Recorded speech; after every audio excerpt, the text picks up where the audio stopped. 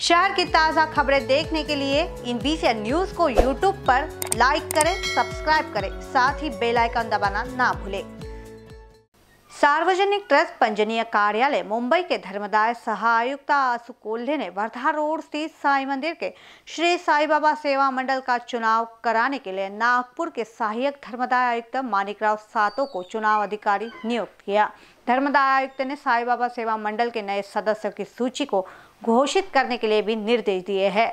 उल्लेखनीय है कि कुछ ही दिन पहले इन बीसीएन न्यूज़ द्वारा यह न्यूज़ प्रसारित की गई थी, जिसका यह इम्पैक्ट देखा गया है। उल्लेखनीय है कि साई बाबा सेवा मंडल के सदस्य साई भक्त राजू जायसवाल ने मुंबई के धर्मदाय आयुक्त के पास यह मुद्दा उठाया था।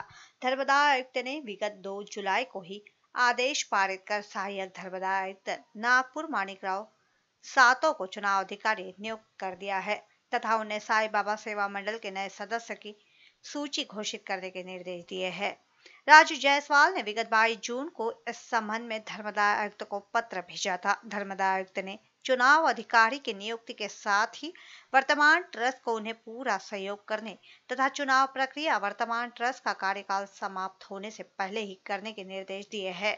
चुनाव अधिकारी को निर्देश दिए गए कि वे ट्रस्ट के संविधान के अनुसार निर्धारित समय में चुनाव प्रक्रिया पूर्ण करे। चुनाव अधिकारी का सहयोग करने के लिए ट्रस्ट के सचिव, नागपुर के पब्लिक ट्रस्ट रजिस्ट्रेशन कार्यालय के इंस्पेक्टर एच के गाड़गे को नियुक्त किया गया है।